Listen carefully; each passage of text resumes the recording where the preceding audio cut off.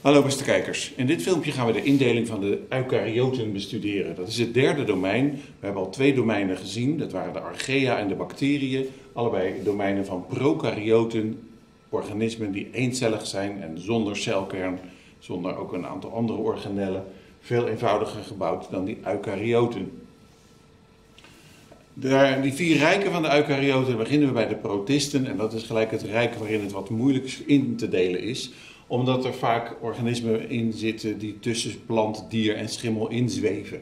Sommige vertegenwoordigers zijn redelijk dierachtig of redelijk plantachtig, maar er zijn er dus ook een aantal die daar gewoon tussenin zitten. Plantoffeldiertje wordt ook wat tussen tot de dieren gerekend, bomenalg wordt ook wat tot de planten gerekend. In elk geval, ze zijn eencellig en er zijn dus heel wat uh, gekke dingen bij en ook heel wat discussie over. Oogdiertje is een voorbeeld. Dat zit duidelijk tussen plant en dier in. Het kan zich bewegen met een zweepdraad. Zulke dingen hebben bacteriën en andere eukaryote eh, protisten ook wel.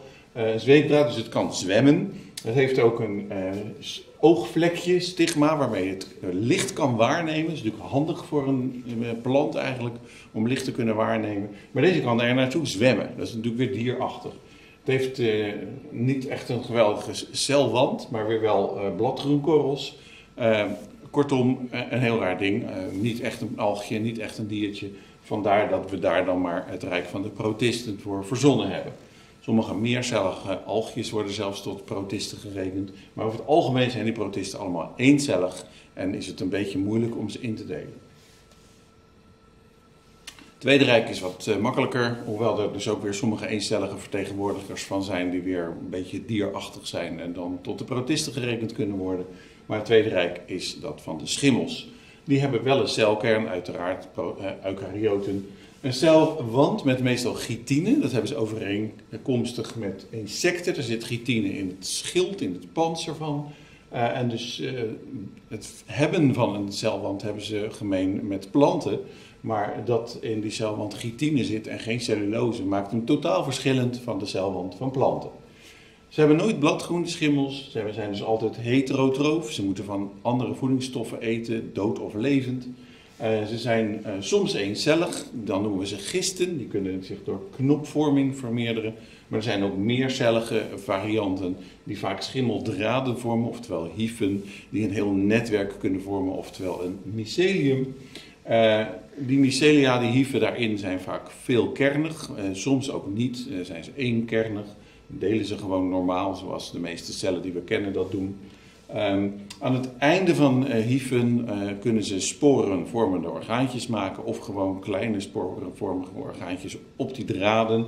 Maar het kan ook zijn dat ze echt paddenstoelen maken. Dat is typisch iets voor schimmels, wat ze doen. En uh, van sommige schimmels dachten we vroeger dat ze heel erg zeldzaam waren, omdat we ze niet vaak konden zien. En dan waren er namelijk alleen maar van die onzichtbare schimmeldraden, van die hyfen in de bodem te vinden. En we zagen de paddenstoelen bijna nooit. Tegenwoordig weten we dat sommige uh, schimmels niet zo zeldzaam zijn als we vreesden, maar dat uh, alleen de paddenstoelen niet zo vaak gevormd worden. Ja, en dan vind je ze natuurlijk niet zo makkelijk. Met DNA-analyse kan je daar achter komen. Veel schimmels zijn normaal gesproken haploïd, hoewel ze soms veelkernig zijn. Dan heb je dus heel veel haploïde kernen in een langgerekt celachtig ding. Dat is natuurlijk ook wel weer gek. Uh, er kunnen ook uh, soms twee haploïde cellen versmelten en dan tweekernig worden, die hyfen. Die twee kernen kunnen dan op bepaalde plaatsen weer versmelten tot een zygote. En daar krijg je dus uh, dat dat in bijvoorbeeld sporenvormende orgaantjes, dus op speciale plaatsen in paddenstoelen kan zijn. Uh, maar als er eenmaal een echte zygote is gevormd, waarbij die twee verschillende haploïde kernen dus zijn samengesmolten, dan vindt er eigenlijk gelijk weer meiose plaats. Dan krijg je weer een haploïde sporen. En daar komen dan weer dus uh, haploïde hyfen uit. Die wel weer uh, allemaal een ander genotype kunnen hebben. Omdat er natuurlijk wel dan geslachtelijke voortplanting heeft plaatsgevonden. Hier zie je een voorbeeld van uh, sporen aan het einde van een schimmeldraad. De mooie harige schim, schimmelsporen die je vanuit een penicillium schimmel kan vinden. Die uh, zit bijvoorbeeld uh, op oude boterhammen die je te lang laat liggen. Penicillium is overigens ook uh, in gebruik om daar antibiotica uit te halen. Penicilline is er naar genoemd, naar die soort schimmel. Er zijn natuurlijk ook andere antibiotica die we uit paddenstoelen kunnen halen. En dat brood zelf is natuurlijk gemaakt met behulp van gist. Dat zijn natuurlijk ook weer eencellige schimmels. Dus er is veel te doen als het gaat om schimmels. En uh, een paar andere mooie schimmeltjes met van die leuke sporenvormende orgaantjes. De hieven zijn meestal te dun, het zijn vaak hele dunne witte draden. Als die door de bosgrond lopen of zo, dan zou je ze niet zo snel vinden. Maar de paddenstoelen natuurlijk wel. Hier zie je ook weer een paar mooie. En dan gaan we naar het volgende rijk. We hebben dus al het rijken van de protisten en de schimmels gehad. Het derde rijk is dat van de, van de planten. Die hebben natuurlijk bladgroenkorrels, hoewel sommige varianten natuurlijk weer eventjes de uitzondering willen spelen. Die hebben dan nog wel plastiden. Bladgroenkorrels zijn chloroplasten. Die andere parasitaire planten die hebben nog steeds wel plastiden, maar die zijn dan bijvoorbeeld geel, omdat ze gewoon te lui zijn om aan fotosynthese te doen. Bremraap is een voorbeeld van een parasitaire plant. Die is daardoor ook echt heterotroof geworden, die plant. Normaal gesproken zijn ze natuurlijk autotroof. Insectenetende planten waren wel autotroof als ze bladgroen hadden, want dan konden ze daar wel degelijk fotosynthese uh, voor doen uh, om hun eigen uh, organische stoffen te maken. Maar die vingen dan insecten vanwege de arme grond met weinig nitraat waar ze op groeien. Natuurlijk hebben die planten een celkern, anders hoorden ze niet bij de eukaryoten. En ze hebben dus een celwand waar bijna altijd ook cellulose in zit. Dat is een stof die veel planten maken, bijna alle planten. En uh, is een stevige vezelachtige stof. Daar kan die uh, celwand vrij stevig van worden. Uh, in sommige gevallen, als het gaat om bomen en struiken en zo, wordt er aan die celwand ook nog lignine, oftewel houtstof, toegevoegd. En dan wordt die nog steviger van. We kunnen die plant indelen in vijf stammen en dat moeten we dus even doen. Eerst is die van de wieren. Dan krijg je dus als ze eencellig zijn ruzie met de protistenliefhebbers, maar daar gaan we niet te diep op in. Je ziet allerlei soorten wieren, kiezelwieren en zo. En de meer bekende zeewier. Wieren hebben geen wortels, stengels en bladeren, ook niet als ze meer cellig zijn. En zeker ook geen bloemen. Ze hebben wel vaak van die hechtdraden waarmee ze op de uh, rotsen vast kunnen zitten bijvoorbeeld. Maar dat mag je geen wortels noemen. Dat zijn hechtdraden, daar nemen ze niet echt voedingsstoffen mee op. Dat is om niet weg te drijven.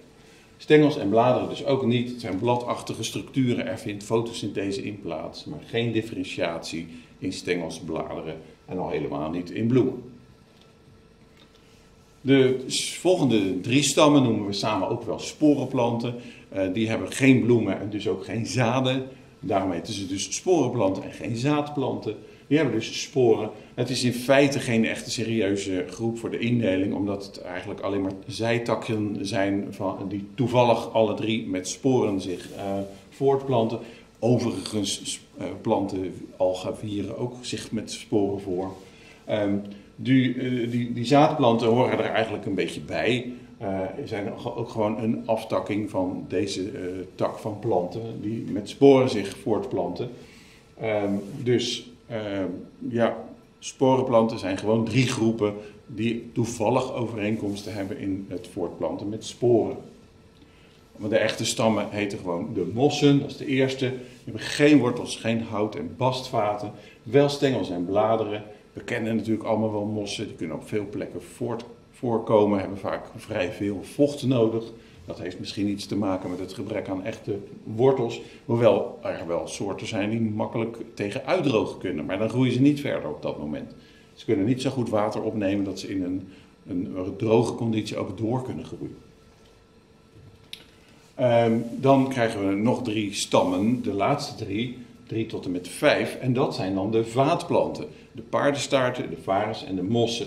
Die paardenstaarten en varens planten zich dus met sporenplanten voor en worden dus ook wel onder de sporenplanten gegooid, hoewel het dus geen serieuze groep was. De vaatplant is wel een serieuze groep, dat is echt één groep waarbij ergens lang geleden de hout- en bastvaten en de wortels zijn ontstaan. En uh, dat hebben deze drie groepen dus allemaal wel. De derde groep is dus, de derde stam, is dat die van de paardenstaarten. Die hebben aan het einde van de stengel zo'n sporenvormend orgaantje. Um, en ze hebben dus wel houten vast, bastvaten en wortels. En uh, paardenstaarten hebben een hele typerende vorm die wel bekend is in, de, uh, in, in het carboon, waar ze ook boomgroot. boomgroot hebben we ze niet meer, omdat de zaadplanten betere bomen hebben kunnen maken later. Maar er zijn nog steeds best wel een aantal soorten paardenstaarten die heel algemeen zijn. Zoals heermoes, wat een gewoon onkruid is. Of deze moeraspaardenstaarten. Vierde stam is dan die van de varens, ook dus nog wel met sporen voortplantend. Andere bouw, meestal meer bladachtig. Sommige zaadplanten hebben bladeren die erg lijken op die van varens. Maar eh, onder de bladeren van varens zitten over het algemeen sporenhoopjes. Het zijn nu eenmaal sporenplanten en eh, geen bloemplanten. Daar kan je het verschil tussen varenbladeren en bladeren van zaadplanten wel aan herkennen. En dan uh, tenslotte de laatste, de vijfde stam, die van de zaadplanten. Die hebben wel bloemen en dus ook zaden, want die worden in vruchtbeginsels in bloemen gemaakt. Er zijn twee klassen die we daarbinnen onderscheiden, namelijk de naaktzadigen en de bedektzadigen. Die naaktzadigen zijn eigenlijk vooral naaldbomen, dus hebben ze naalden als bladeren. Ze hebben wel zaden, maar die zijn in principe maar gedeeltelijk bedekt. En die bloemen van die naaktzadigen stellen niet veel voor. Ik heb expres geen dennenappel genomen, omdat dat de meest voor uh, de hand liggende naaktzadige vrucht is. Waar dan die zaden tussen de schubben liggen en zichtbaar zijn als je de schubben optilt. Je ziet daar de uh, taxusbes. Taxus is ook een naaldboom. Die taxus die heeft, uh, vormt besjes en geen kegels. Maar in dat besje zie je ook, als je aan de onderkant kijkt, gewoon dat zaad zitten. Vandaar dus dat naaktzadige van die eerste klasse van de zaadplanten, de naaktzadigen. En hier bloeiwijze van een den.